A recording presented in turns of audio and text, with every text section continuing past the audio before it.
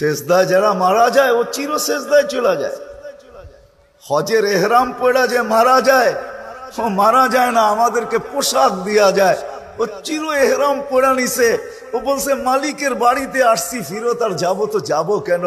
এই বাড়িতেই চিরদিনের জন্য থেকা যাব। যেই দিন যাওয়ার আসল ঘর জান্নাতে ওই দিন মালিকের বাড়ির থেকেই জান্নাতের দিকে যাব। এই জন্য এহরামওয়ালা যখন কেয়ামতের দিন উঠবে, যে এহরাম অবস্থায় মারা যায়, ও তো তলবিয়া পড়তে পড়তে উঠবে। লব্বাইক আল্লাহুম্মা লব্বাইক লব্বাইক লা শারীকা লাক লব্বাইক, ইন্নাল হামদা ওয়ান নি'মাতা লাক ওয়াল মুলক, লা শারীকা লাক বলতে বলতে উঠবে। কেয়ামতের মানুষ তাকায় থাকবে, আরে এটা আবার কোথেকে আসলো? আল্লাহ বলে, সরো সরো, চিনবা না, আমার ঘরে আসছিল আর ফিরত যায় না, এহরাম পড়েই রয়ে গেছে।